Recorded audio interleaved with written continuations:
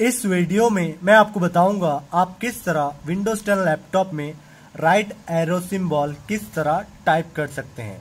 इस तरह होता है राइट एरो का सिंबल तो राइट एरो सिंबल टाइप करने के लिए आपको अल्ट प्लस 26 प्रेस करना होता है।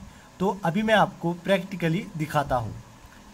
लैपटॉप में कीबोर्ड पर कहीं पर भी राइट एरो का सिंबल नहीं होता है।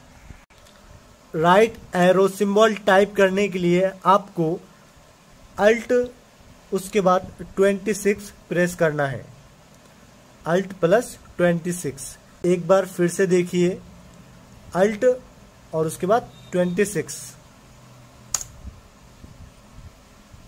Alt plus 26